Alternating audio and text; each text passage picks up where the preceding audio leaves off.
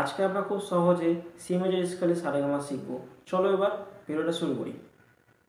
C major scale বাজানোর জন্য প্রথমে থার্ড স্ট্রিংয়ের ফাইভ একবার, তারপর থার্ড স্ট্রিংয়ের সেভেন একবার, তারপর সেকেন্ড স্ট্রিংয়ের ফাইভ একবার, তারপর সেকেন্ড স্ট্রিংয়ের সিক্স একবার, তারপর সেকেন্ড স্ট্রিংয়ের এইট একবার, তারপর ফার্স্ট স্ট্রিংয়ের ফাইভ একবার, তারপর ফার্স্ট স্ট্রিংয়ের সেভেন একবার তারপর ফার্স্ট স্ট্রিংয়ের এইটা একবার, তাহলে এটা যদি বাজাতে কেমন লাগবে?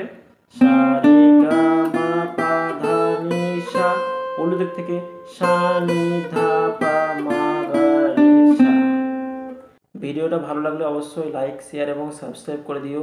আবার আসছি নেক্সট লেসনে